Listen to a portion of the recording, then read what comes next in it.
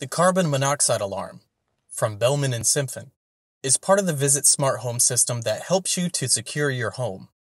By detecting carbon monoxide at an early stage and relays the alarm directly to your Visit receiver so you can get out of harm's way in time.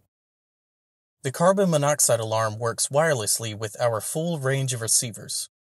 Let's look inside the box. Here is the carbon monoxide alarm, a user manual in multiple languages, a quick guide, stickers, and screws and wall plugs. For your safety, please read the user manual before installation. The user manual has important notes about the carbon monoxide alarm. Before installing the carbon monoxide alarm, please find a location for installation by following the user manual.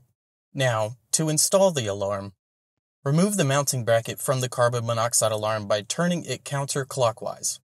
Fix the mounting bracket into the ceiling or wall using the screws according to the directions in the user manual. Then fit the alarm to the bracket by turning it clockwise until it snaps into place. The red, yellow, and green LEDs blink in sequence to show that it is on. To test the connection, wait 15 seconds after installing. Press the test button and release it when the alarm sounds.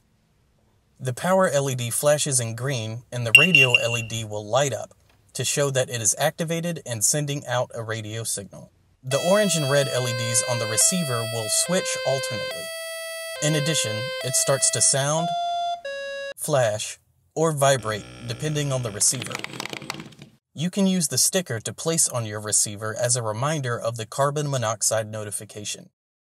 Now the carbon monoxide alarm is ready to use. That's how easy it is to set up. Here are some additional features.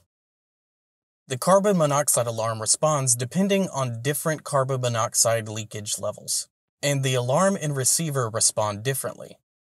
Please refer to the information in the user manual. If the alarm is beeping and the alarm LED is blinking once about every 50 seconds, then the batteries are low and needs to be replaced. If the alarm is beeping twice and the LED blinks twice about every 50 seconds, then the alarm is faulty and needs to be replaced. If the alarm beeps three times and the LED blinks three times about every 50 seconds, then the carbon monoxide alarm has reached its end of life and needs to be replaced.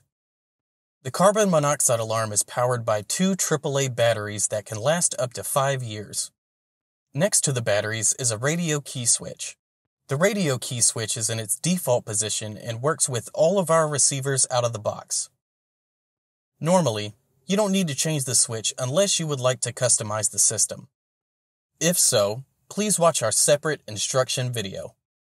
And that is the carbon monoxide alarm, part of the Visit Smart Home system.